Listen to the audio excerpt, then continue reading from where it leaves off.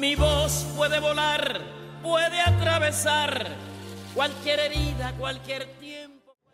Este es un reconocimiento muy importante para la ciudad de Miami. Estamos reconociendo tres cosas fundamentales eh, para Miami. A un artista eh, que es de Cuba, que es como si fuera de Miami, que ha triunfado en el mundo, en Europa, en plazas muy importantes y que nos representa bien a Celia porque ella es intérprete de su música y Celia es definitivamente eh, la reina de Cuba. No hay eh, otro tipo de designación que se le pueda hacer. Y la Liga contra el Cáncer, eh, que es una organización que durante 40 años aquí en la ciudad de Miami ha ayudado a salvar miles de vidas. Así que es algo importante hoy para nuestra ciudad. El estar aquí en la Liga contra el Cáncer y recibir del alcalde Tomás Regalado este significativo certificado de la ciudad de Miami me honra por, como artista y como persona.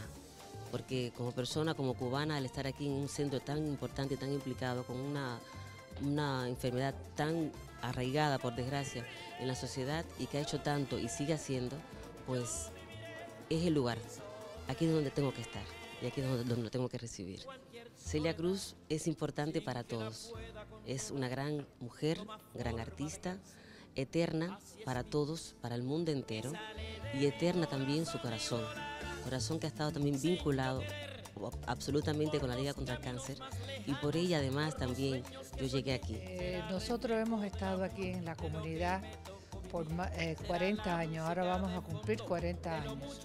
Hemos hecho por esta comunidad y la comunidad ha hecho por la liga porque nos ha apoyado en todo, mucho. Aquí se tratan a pacientes de bajos recursos sin seguro médico que vienen con cáncer.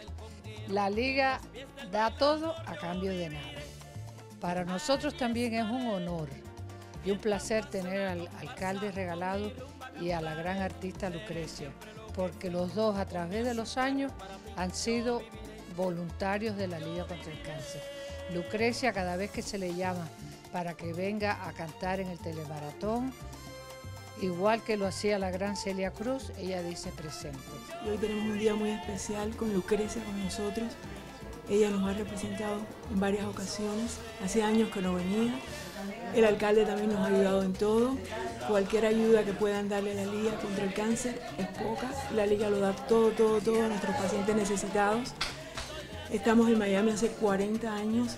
El 22 de noviembre empieza el kick-off, vamos a decir, de nuestros 40 años. empezaron las señoras que empezaron la liga el 9 de junio de 1975 y vamos para el año 2015. La liga los necesita